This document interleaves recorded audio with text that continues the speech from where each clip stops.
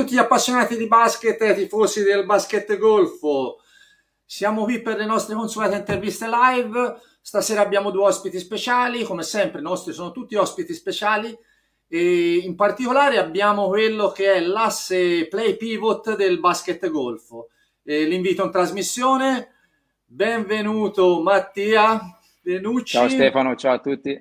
E un benvenuto anche a Edoardo Tiberti. Ciao Stefano, ciao a tutti.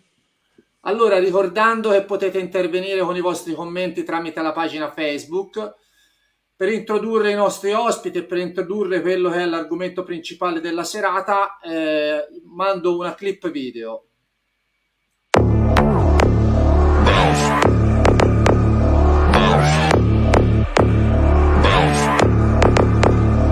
I got a bottle of Patron and some lights off. Two red devil looking eyeballs. And I'm finna turn up when the night falls. If you hear a siren then it's my fault. Jump in my whip baby let's ride. We ain't gonna stop at a red light. And I'ma take shots like a Tech 9 It's gonna get live Let me know, I'ma buy another round. Get low, drop it down to the ground. Oh yeah, wow, shorty make it down Mama see the put cuffs on my cardiac. Took my breath away like a heart attack. And I'ma spend every dime and my money back. Everybody wanna know.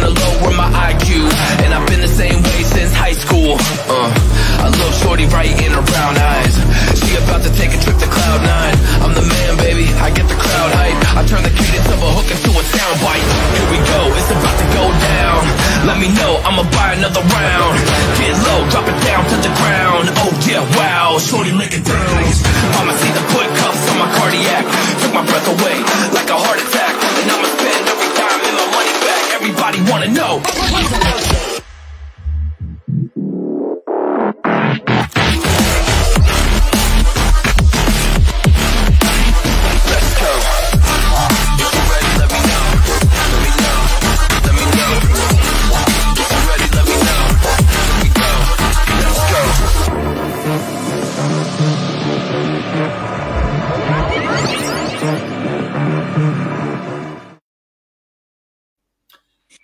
Spero sia stata un'introduzione piacevole sia per voi che per gli spettatori.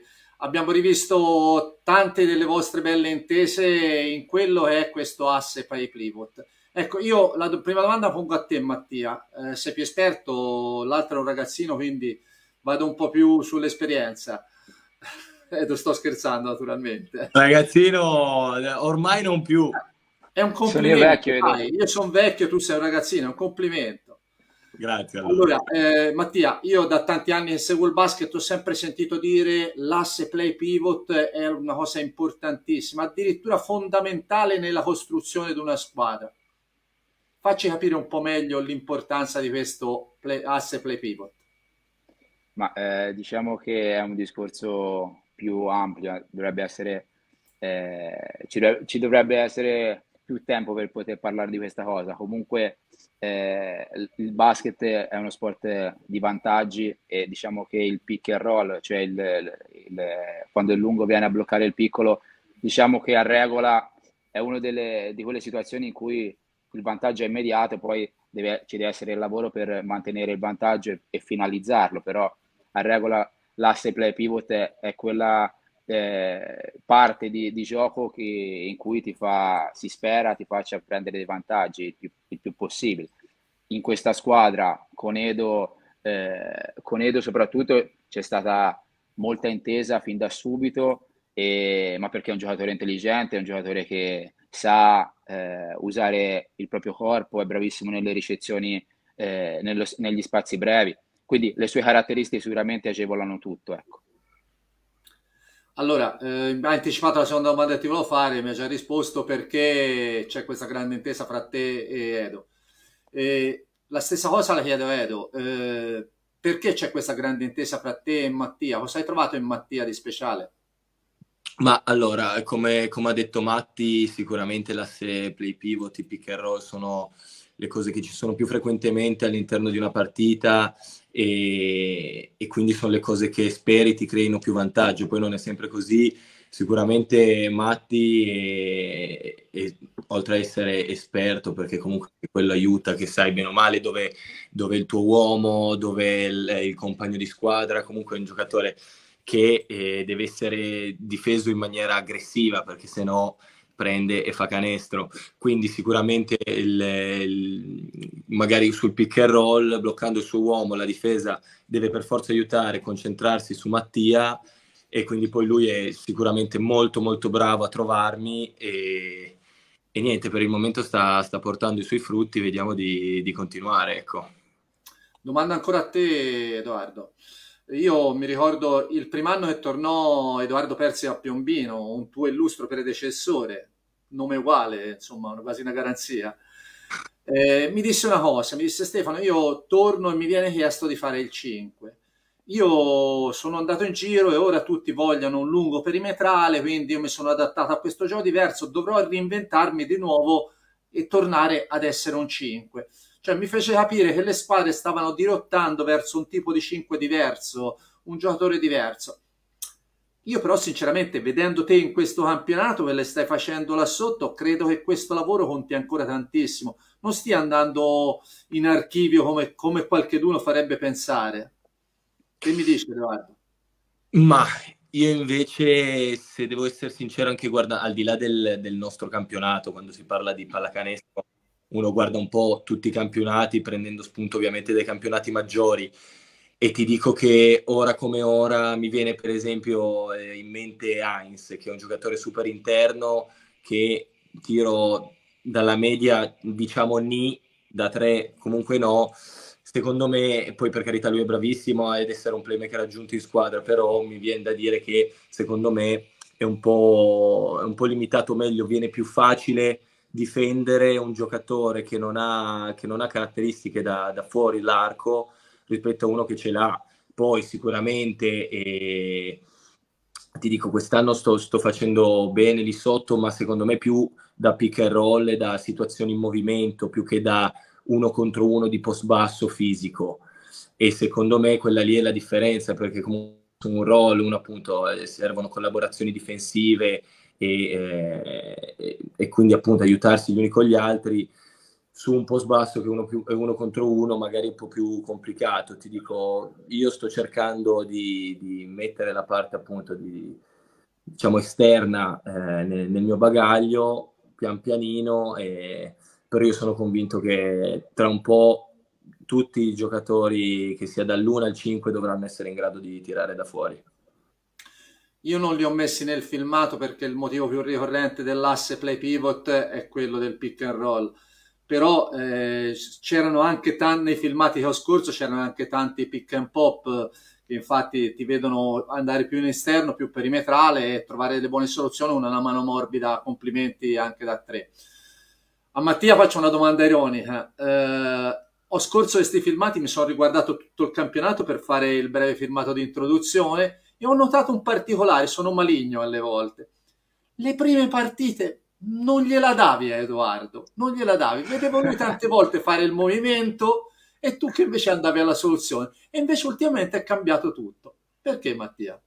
No, no, no, no. Eh, eh, diciamo che eh, la prima parte comunque dobbiamo ancora conoscerci. Siamo stati bravi eh, nel, nel trovare questa alchimia e, e, e, ti dirò, nel senso che tanto è venuto in maniera molto naturale, senza stare a parlare, basta, ora basta uno sguardo per capirci, quindi va, va tutto per il meglio. Però eh, diciamo che all'inizio, eh, oltre a Edoardo, devo conoscere anche tutti, tutti, gli altri, nel senso come mettere moto piccolo o quando è arrivato lo stesso Dennis o Ale Azzaro, Camillo, insomma, che conoscevo di già. Però insomma, c'era tante altre cose che un, un playmaker a regola dovrebbe fare eh, e quindi eh, per questo magari mi scuso con Edo se all'inizio non gliela passavo, però eh, diciamo che devo pensare a ha più cose per mettere in piedi, tra virgolette, passatemi il termine, un, un, un, tipo di pallacanestro che fosse ideale anche al, alle idee di Damiano, no? E, e quindi eh, diciamo che una costruzione ha bisogno di, di, un certo tempo e ora che questa macchina va e, e, e va, va, liscia, sicuramente eh, tu, va tutto per il meglio e, va bene così. Vabbè, diciamo che visto il risultato ha meritato l'attesa. Indubbiamente sì, era, era, la, la, risposta era, era ovvia. Eh, eh vabbè, però... ora la, diciamo che la difesa è costretta a prendere delle decisioni importanti su una, su una situazione del genere, sicuramente.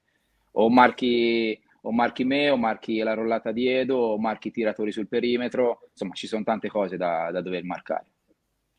Sì, in effetti questa qui è una cosa rimarco spesso, la difficoltà contro noi, contro Piombino, è quella che avete tante soluzioni, tanti tipi di gioco e quindi è difficile per le difese avversarie fare una scelta difensiva ben precisa, bisogna essere adattino sul campo. Sempre con te Mattia voglio entrare nell'argomento della prossima partita, la San Giorgese. Volevo farti una domanda ma me ne è venuta in mente un'altra più interessante. Mi ricordo la partita dell'andata dove non c'era Edo Tiberti. Sì. L'abbiamo vinta Ecco, come la vincemo quella partita senza Tiberti contro una squadra che sotto, insomma, con Toso, con Sebastiano Bianchi si era fatta sentire perché aveva marcato con un 56%, non sbagliando quasi nulla con Solunghi. Come vincemo quella partita?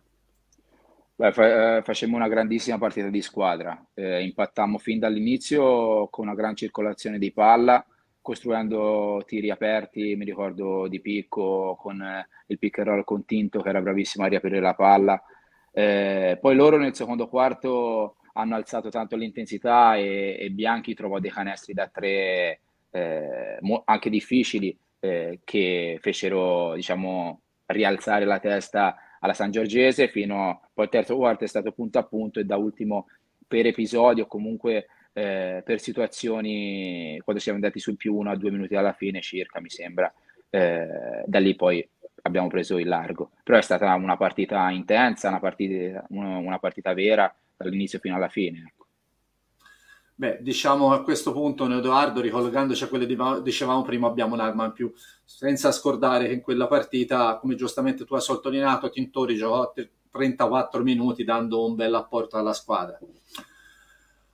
Allora, eh, torno a te, Edoardo. Eh, allora, la Sangio ho visto che può giocare anche senza centri di ruolo. Eh, I suoi due centri di ruolo, Toso e Pesenato, non coprono i 40 minuti. Loro spesso giocano, diciamo come si dice nel calcio, il falso 9, il falso 9, qui giocano con un falso 5, con Bianchi oppure con Airaghi, due giocatori fisicamente prestanti e che se la cavano molto bene sotto le planche.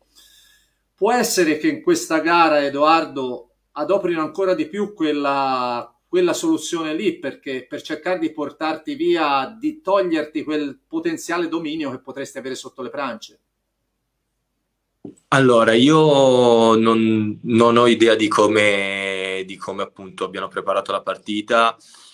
Ti dico, secondo me sì, potranno provare vedendo anche le nostre ultime partite che contro i cambi di Irons e anche a Casale le diverse difese ci hanno un po' diciamo incasinato e confuso. E secondo me se hanno visto appunto le, quelle partite lì faranno qualcosa del genere, quindi mettendo magari Bianchi o Airaghi da, da 5 e cambio su tutto, su qualsiasi blocco. E noi, dov- noi dovremmo, dovremmo essere bravi a, a costruire bene il gioco, ci siamo allenati in questa settimana ehm, appunto sui, su, sui, cambi sia per la nostra difesa che per il nostro attacco e, e quindi ecco il lavoro in settimana dovrebbe speriamo averci aiutato a gestire un po' queste, queste situazioni d'emergenza chiamiamole e, e quindi vediamo un po' cosa, cosa succederà domenica. Noi sicuramente non, non molleremo un colpo in, in, qualunque caso, chiunque ci sia in quintetto. Mattia, premesso che ovviamente come sempre la filosofia è la stessa, la partita più importante è quella con la San Giorgese. Però proviamo a dare uno sguardo leggermente più avanti e la domanda che ti volevo fare è questa Mm, potrà davvero bastare un solo errore per conquistare quel quarto posto o secondo te ci sarà la possibilità di permettersi anche qualcosa di più con qualche passo falso delle avversarie? Ma eh, diciamo che la caratteristica, una delle caratteristiche principali di questa squadra è sempre stata quella di pensare partita per partita e quindi è giusto continuare a pensare così. Però la classifica e le partite, il calendario sono sotto gli occhi di tutti, è inevitabile.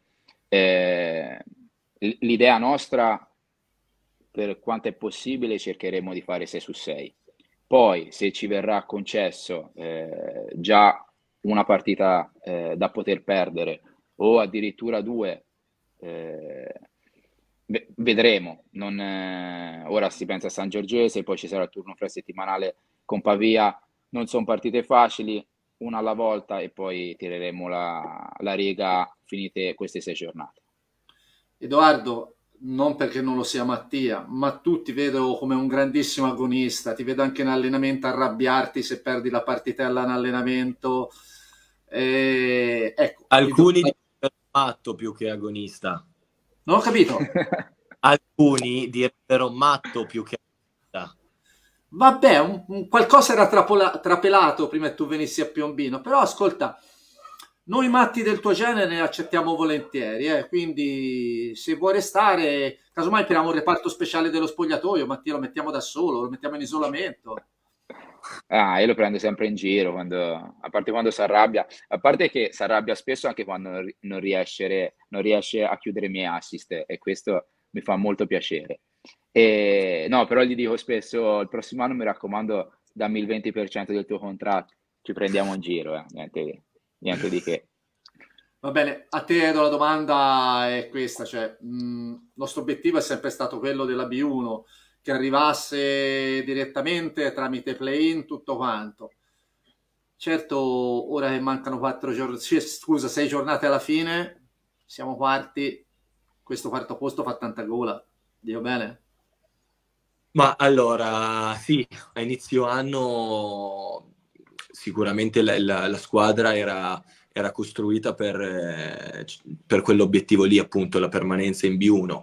E onestamente eh, ti dico che penso anche io all'inizio, non pens- vedendo anche gli altri roster, eh, stiamo parlando appunto di, cioè, visti così letti, senza avere mai giocato, onestamente non... È andato via l'audio. Abbiamo perso Edoardo. Vabbè, vediamo se lo recuperiamo. Eh, proviamo a aspettare un attimino perché la domanda coinvolgeva ancora lui, a parte di finire la risposta. E deve essere andata via il segnale. Eccolo. Ecco, Edoardo, era andato via il segnale. Eh, Dove vi siete fermati? Ascolta, rifacci la risposta, vai completa. Hai detto, ecco, eravate, hai detto che guardando i roster non eri inizio... propriamente convinto ad arrivare nelle quattro, diciamo. No, no, non, cioè, si pensava appunto a fare un buon campionato, sicuramente c'erano le possibilità perché comunque cioè, tra di noi ci conoscevamo, sapevamo che poteva andare andar bene, e, però da quando siamo lì non so se abbiamo cambiato qualcosa, comunque siamo secondo me tipo dei treni qualsiasi cosa gli si presenta davanti vanno dritti, no? E Matti, eh, partite, due partite fa, mi sembra, dopo Borgomanero, ha detto in spogliatoio eh, 2, 3, 4, 6, 7 battaglie. E poi una volta facciamo una hit sul numero 1, sul numero 2, sul numero 3. Una, una dopo la volta, come, come ha detto Matti, eh, vediamo, vediamo di raggiungere questo obiettivo che sarebbe veramente un, un, un bel regalo per tutti gli sforzi e, e, perché non dimentichiamoci che a turno siamo stati tutti mezzi acciaccati nonostante siamo riusciti ad andare avanti, a vincere, quindi secondo me anche se non è ancora finita ce lo meritiamo. Sta a noi diciamo... meritarci il mondo. Diciamo che gli infortuni forse ci hanno dato una mano a cementare questo gruppo, a dare ancora più forza a questo gruppo, più convinzione. Nella sfortuna abbiamo trovato qualcosa e ci ha caricato ancora di più, perché io mi ricordo partite appunto dove c'erano queste difficoltà, forse sono quelle che avete giocato meglio. Quindi mettiamo la iella da una parte e guardiamo avanti. Allora, Mattia, Eh, una domanda, alla vista che vi intendete così bene, tu e Edoardo, hai cominciato a dirgli qualcosa riguardo al prossimo anno? Perché non resti con noi, Edoardo? Gliela, comincia a dirglielo, te ogni tanto diglielo, dagli una gomitata e diglielo ogni è, tanto. È, è, è, inevitabile che un campionato del genere, eh, anche quello è sotto gli occhi di tutti, nel senso che non, non devo ne- neanche dirlo io, stare lì a dire chissà cosa, però eh, un giocatore del genere sicuramente per come eh, intendo io, per le mie caratteristiche, a me fa un sacco eh, piacere averlo in squadra e sarebbe bellissimo poter continuare a, altri anni a giocare insieme, quello sì. Edoardo, a te dico, ma dove lo trovi in altro me Mattia? Abbi pazienza, ma dove vuoi andare? Dove lo trovi in altro me Mattia? Sicuramente, sicuramente, cioè, di Mattia, matto, di Matti Matto ce n'è solo uno. No? Quindi, no, guarda, adesso sicuramente qua a Piombino si sta bene, la squadra, l'allenatore, tutti quanti c'è un ambiente veramente bello, poi sicuramente vincendo rende tutto ancora più idilliaco.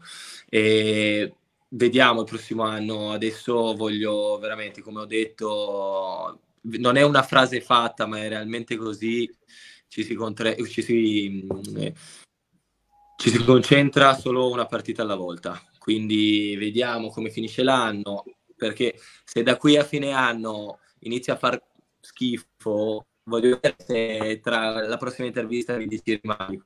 Vediamo, vediamo, calma, calma, calma. Allora, io, io Edoardo vi chiedo scusa perché vi stuzio sempre su questo argomento, ma voi capite, insomma, il cuore è giallo-blu e quindi quel poco che posso fare per cercare di convincervi a restare con noi, cerco di farlo. Poi so benissimo come funzionano le cose, quindi io mi auguro che tu trovi la sistemazione. Anch'io vedo finisco il triennale, quindi dobbiamo... Non ho capito, scusa. ho, detto, ho, detto, anch'io finisco il triennale, quindi non so cosa. No, no, no Mattia, succede. ascolta, io già cerco di trattenerne uno, due non ce la faccio, anche perché sono no, nel, fisicamente. Nel a me a livello contrattuale finisco io quest'anno, quindi non so. Dai, una battuta. Vabbè, eh, ora, ora, Mattia cominciò le minacce, quindi è bene, è bene chiudere la trasmissione. Va bene, ragazzi, dai, scherziamo anche un po' e ci tratteniamo in maniera piacevole. Sia, io almeno non sono un professionista, quindi mi fa piacere passare dei momenti anche così piacevoli con voi scherzando e ridendo.